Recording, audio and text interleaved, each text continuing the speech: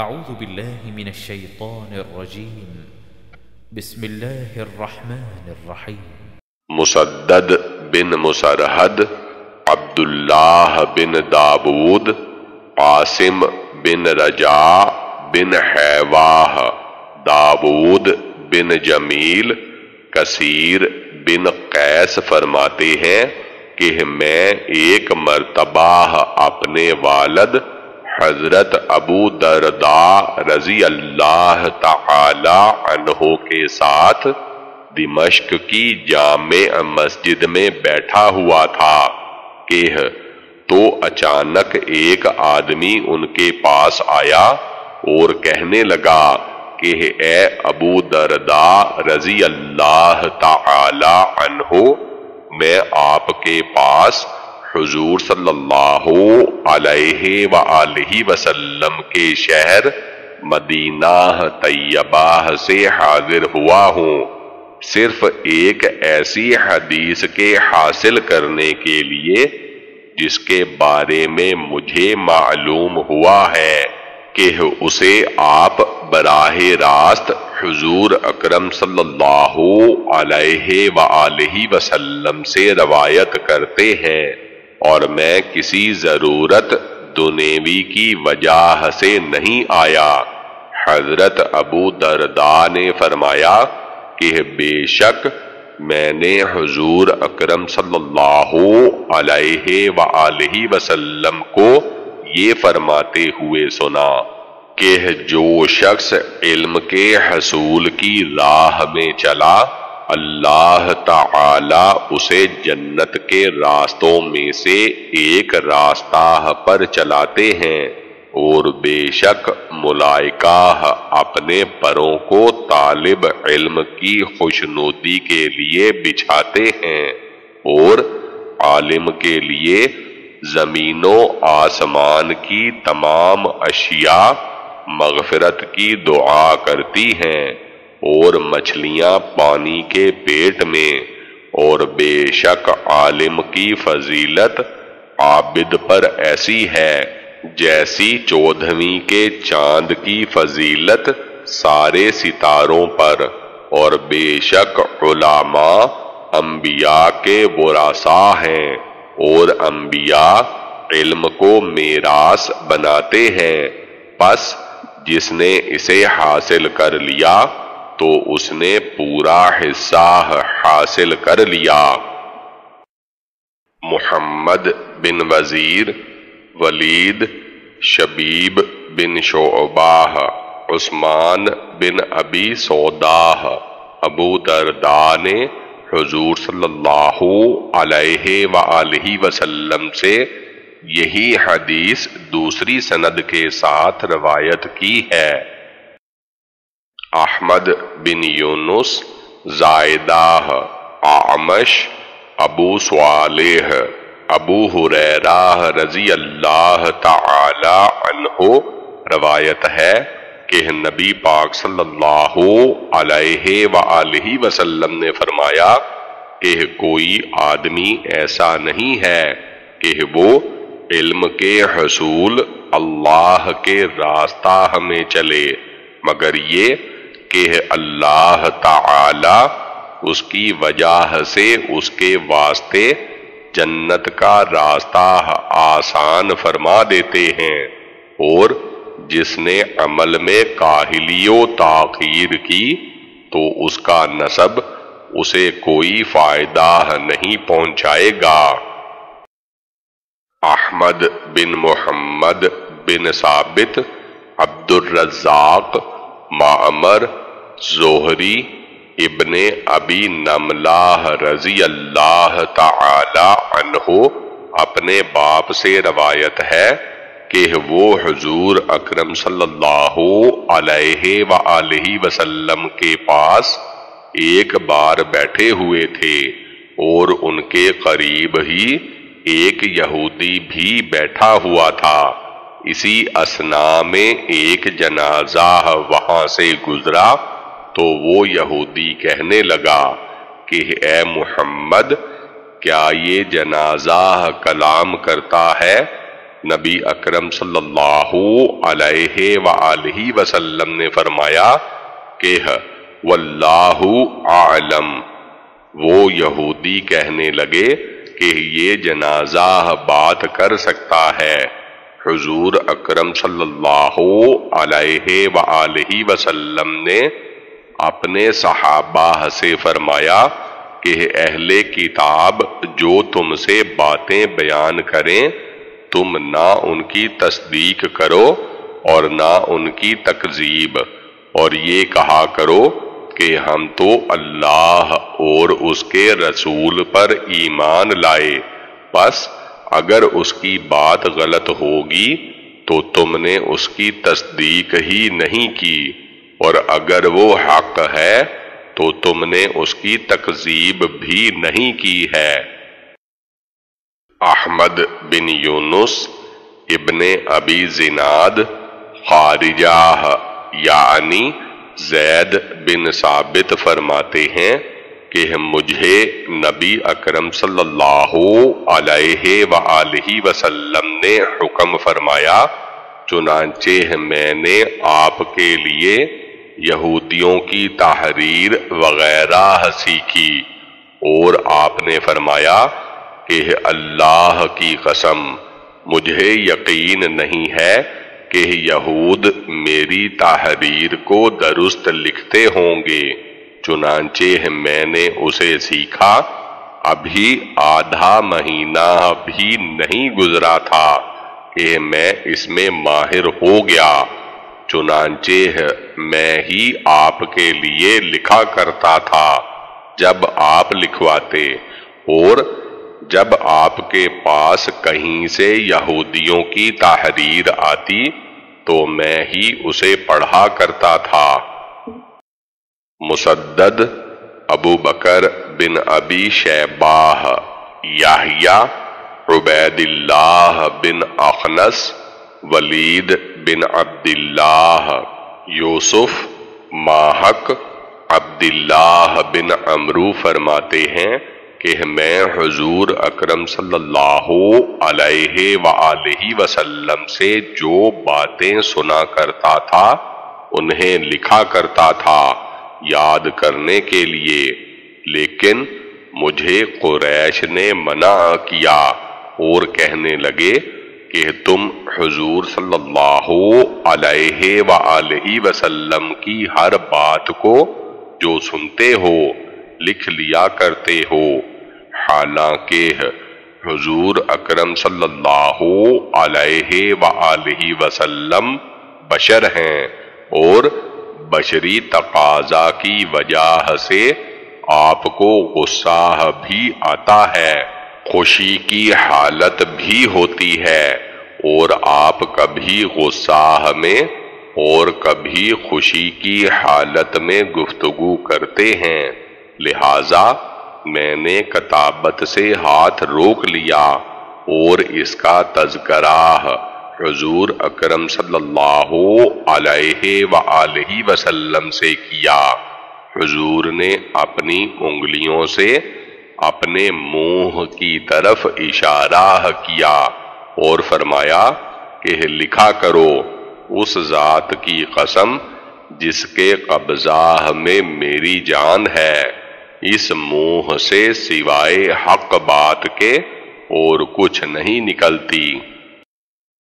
نصر بن علی، ابو احمد، کثیر بن زید مطلب بن عبداللہ حنتب فرماتے ہیں کہ حضرت زید بن ثابت، حضرت معاویہ رضی اللہ تعالی عنہ کے پاس آئے اور ان سے کسی حدیث کے بارے میں دریافت کیا۔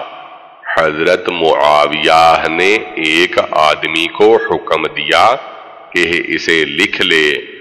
تو زید بن ثابت نے ان سے کہا کہ بے شک حضور اکرم صلی اللہ علیہ وآلہ وسلم نے ہمیں حکم دیا تھا کہ آپ کی حدیث میں سے کچھ نہ لکھا جائے، چنانچہ لکھے ہوئے کو مٹا دیا تھا۔ Missing missing missing Amr bin Aun, Musaddad, Khalid, Bayan bin Bishr, مسدد، ابو بشر، وبراہ بن عبد الرحمن عامر بن عبداللہ بن زبیر سے روایت ہے کہ وہ فرماتے ہیں کہ میں نے اپنے والد زبیر رضی اللہ تعالی عنہ سے پوچھا کہ آپ کے لیے حضور اکرم صلی اللہ علیہ وآلہ وسلم سے حدیث روایت کرنے میں کیا معنی ہے؟ جیسے کہ آپ کے ساتھی حضور اکرم صلی اللہ علیہ وآلہ وسلم سے روایت کرتے ہیں۔ انہوں نے فرمایا کہ اللہ کی قسم مجھے حضور اکرم صلی اللہ علیہ وآلہ وسلم سے ایک خاص تقرب کا درجہ حاصل ہے، لیکن میں نے آپ سے سنا ہے کہ آپ فرماتے ہیں کہ جس نے مجھ پر جھوٹ باندھا، وہ اپنا ٹھکانہ جہنم میں بنا لے۔ عبداللہ بن محمد بن یاہیا یعقوب بن اسحاق، سہیل بن مہران، ابو عمران۔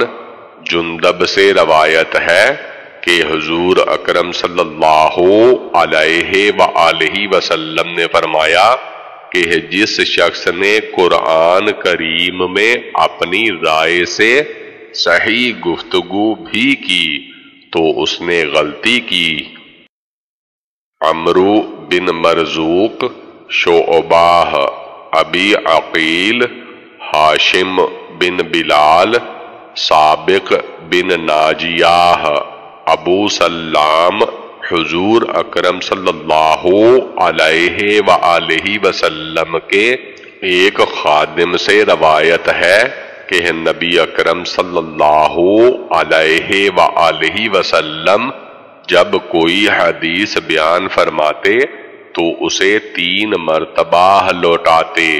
مراد یہ کہ کوئی اہم حکم یا نصیحت ہوتی تو تین مرتبہ بیان فرماتے۔ محمد بن منصور، سفیان بن عیناہ، زہری ارواہ سے روایت ہے کہ ایک مرتبہ حضرت ابو حریرہ رضی اللہ تعالی عنہ، حضرت عائشہ رضی اللہ تعالی عنہ کے حجراہ کے برابر والے میں بیٹھے تھے، جبکہ حضرت عائشہ رضی اللہ تعالی عنہ نماز پڑھ رہی تھیں۔ حضرت ابو حریرہ رضی اللہ تعالی عنہ کہنے لگے، اے حجراہ والی میری بات سن۔ انہوں نے دو مرتبہ کہا کہ جب حضرت عائشہ رضی اللہ تعالی عنہ نے نماز مکمل کر لی تو کہنے لگی کہ تمہیں کیا تعجب نہیں ہوتا؟ اس پر اور اس کی گفتگو پر، حالانکہ حضور اکرم صلی اللہ علیہ وآلہ وسلم ایسی گفتگو فرماتے تھے کہ اگر شمار کرنے والا کرنا چاہتا تو ان کے الفاظ کو شمار کر سکتا ہے۔ سلیمان بن داود، ابن وحب یونس ابن شہاب عرواہ بن زبیر بن زبیر فرماتے ہیں کہ حضرت عائشہ رضی اللہ تعالی عنہ زوجہ متحرہ حضور اقدس صلی اللہ علیہ وآلہ وسلم نے فرمایا کہ تمہیں ابو حریرہ رضی اللہ تعالی عنہ پر تعجب نہیں ہوتا۔ وہ آئے اور میرے حجراہ کے پہلو میں بیٹھ گئے اور حضور صلی اللہ علیہ وآلہ وسلم سے حدیث بیان کرنے لگے۔ مجھے سنانے کے لیے جبکہ میں تسبیح پڑھ رہی تھی، وہ میری تسبیح پوری ہونے سے قبل ہی کھڑے ہو گئے۔ اگر میں انہیں پا لیتی تو ان کی تردید کرتی۔ کہ حضور صلی اللہ علیہ وآلہ وسلم تمہاری طرح گفتگو نہیں فرماتے تھے۔ ابراہیم بن موسا عیسیٰ، عبداللہ بن سعد، معاویہ سے روایت ہے کہ نبی اکرم صلی اللہ علیہ وآلہ وسلم نے منع فرمایا ہے مغالطات، وہ مبہم مسئلہ یا بات جس سے آدمی کو غلطی میں مبتلا کیا جائے۔ دینے سے حسن بن علی، ابو عبد الرحمن سعید ابن ابی ایوب، بکر بن عمر، مسلم بن یسار، ابو عثمان، ابو حریرہ حضور اکرم صلی اللہ علیہ وآلہ وسلم سے روایت فرماتے ہیں کہ جس شخص نے بغیر علم کے غلط فتوہ دیا تو اس پر عمل کرنے والے کا گناہ بھی فتوہ دینے والے پر ہوگا۔ سلیمان بن داود ابن وحب یحییٰ بن ایوب، بکر بن عمر، عمرو بن نعیمہ، ابو عثمان عبد المالک بن مروان، ابو حریرہ سے روایت کرتے ہیں۔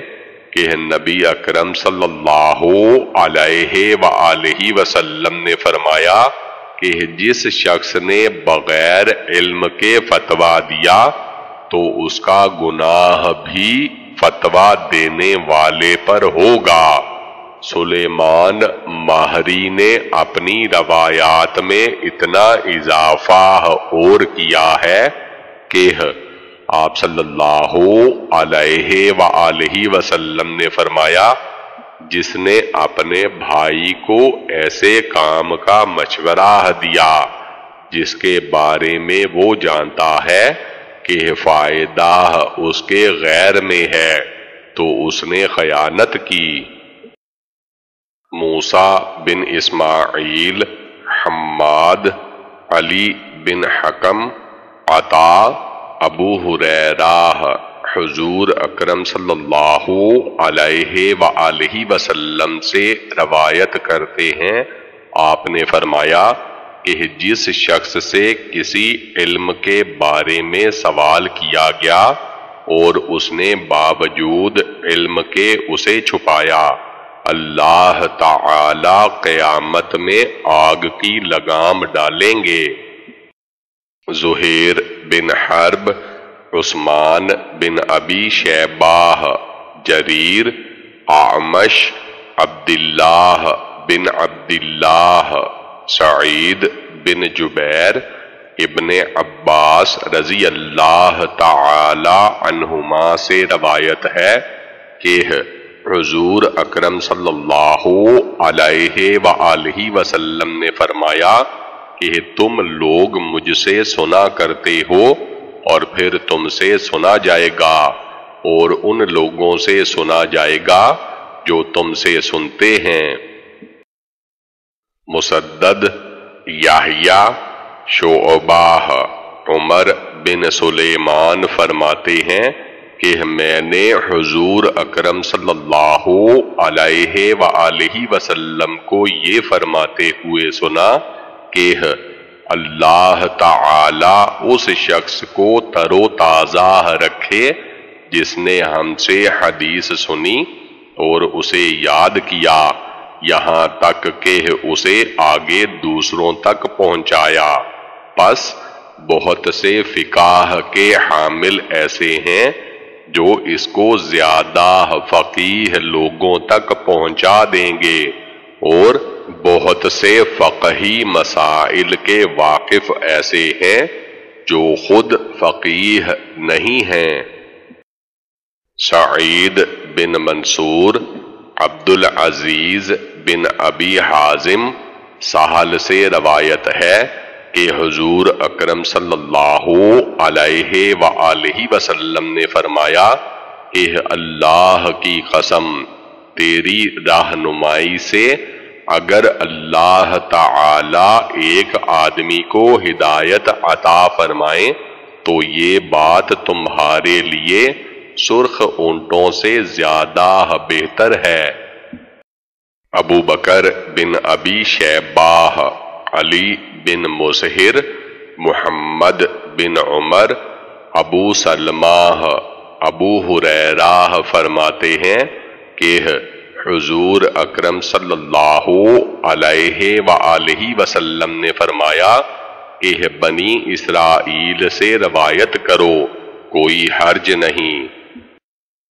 محمد بن مسنہ، معاذ قطادہ ابو حسان، عبداللہ بن عمر رضی اللہ تعالی عنہ سے روایت ہے کہ وہ فرماتے ہیں کہ حضور اکرم صلی اللہ علیہ وآلہ وسلم ہمیں بنی اسرائیل سے بہت سی باتیں بتلاتے، یہاں تک کہ صبح ہو جاتی، لیکن آپ صلی اللہ علیہ وآلہ وسلم اٹھتے نہ تھے۔ اس مجلس سے اللہ یہ کہ ایک عظیم نماز تحجد کے لیے۔ ابو بکر بن ابی شیباہ سریج بن نعمان فلیح ابو طوالاہ عبداللہ بن عبد الرحمن بن معمر سعید بن یسار سے روایت ہے کہ نبی اکرم صلی اللہ علیہ وآلہ وسلم نے فرمایا کہ جس شخص نے وہ علم کہ جس سے اللہ تبارک تعالی کی خوشنودی حاصل کی جاتی ہے۔ اس لیے سیکھا کہ اس کے ذریعہ اسے دنیا کا کچھ مال و متاع مل جائے۔ تو ایسا شخص جنت کی خوشبو کو بھی نہیں پا سکے گا قیامت کے دن یعنی جنت کی ہوا۔ محمود بن خالد، ابو مسہر عباد بن عباد خواس یاہیا بن ابی عمر، عمرو بن عبداللہ شیبانی اوف بن مالک فرماتے ہیں کہ میں نے حضور اکرم صلی اللہ علیہ وآلہ وسلم کو یہ فرماتے ہوئے سنا کہ قصے کہانیاں صرف عمراؤ حکام یا وہ لوگ جنہیں اس کا حکم دیا گیا یا مغرور و متکبر شخص۔ مسدد جعفر بن سلیمان معلہ بن زیاد، علا بن بشیر، ابی صدیق ناجی ابو سعید خدری فرماتے ہیں کہ میں ایک مرتبہ کمزور و غریب مہاجرین کی ایک جماعت میں بیٹھا ہوا تھا اور ان کی فقر و غربت کا یہ عالم تھا۔ ان میں سے کچھ لوگ دوسرے لوگوں سے بسبب برہنہ ہونے کے پرداہ کر رہے تھے اور ایک قاری قرآن کی تلاوت ہم پر کر رہا تھا۔ کہ اچانک حضور اکرم صلی اللہ علیہ وآلہ وسلم تشریف لائے اور ہمارے پاس کھڑے ہو گئے تو وہ قاری خاموش ہو گئے۔ نبی صلی اللہ علیہ وآلہ وسلم نے ہمیں سلام کیا اور فرمایا کہ تم لوگ کیا کر رہے ہو؟ ہم نے کہا، یا رسول اللہ صلی اللہ علیہ وآلہ وسلم، بے شک وہ شخص ہمارا قاری ہے اور ہم پر قرآن کی تلاوت کر رہا تھا اور ہم اللہ کی کتاب سن رہے تھے۔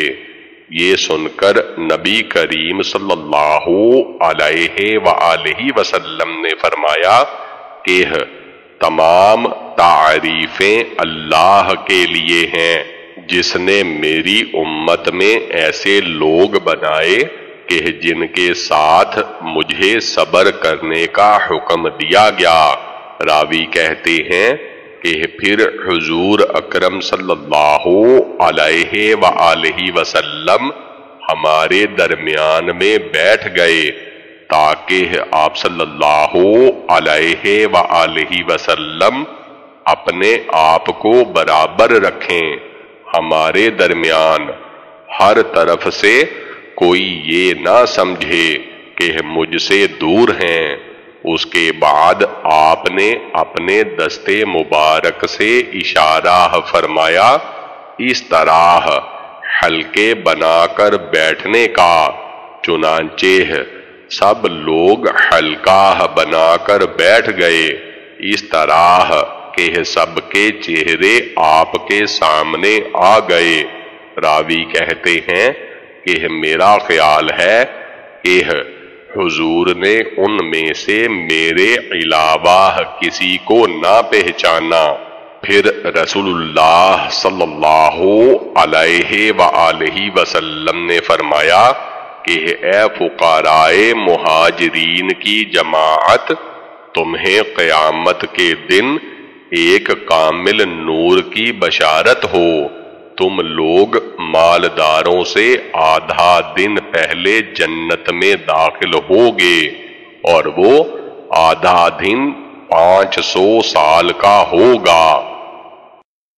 محمد بن مسنہ عبد السلام موسا بن حلف قطادہ انس بن مالک رضی اللہ تعالی عنہ روایت ہے کہ حضور اکرم صلی اللہ علیہ وآلہ وسلم نے فرمایا، یہ بات کہ میں اس قوم کے ساتھ جو اللہ تعالی کا ذکر کرتے ہیں، فجری نماز سے لے کر طلوع آفتاب تک بیٹھوں۔ میرے نزدیک اس بات سے زیادہ محبوب ہے کہ میں اسماعیل کی اولاد میں سے چار غلام آزاد کروں۔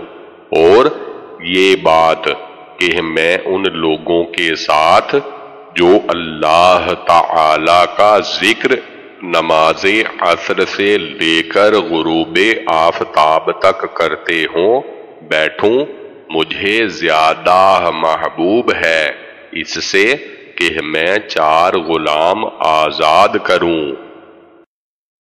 عثمان بن ابی شیباہ حفظ بن غیاس آمش ابراہیم عبیدہ عبداللہ رضی اللہ تعالی عنہ سے روایت ہے کہ حضور اکرم صلی اللہ علیہ وآلہ وسلم نے مجھ سے فرمایا کہ میرے سامنے سورت نساء کی تلاوت کرو۔ میں نے عرض کیا کہ میں آپ کے سامنے تلاوت کروں۔ حالانکہ یہ قرآن تو آپ پر ہی نازل کیا گیا ہے۔ فرمایا کہ میں چاہتا ہوں کہ اپنے علاوہ کسی اور سے سنوں۔ چنانچہ میں نے آپ کے سامنے تلاوت کی۔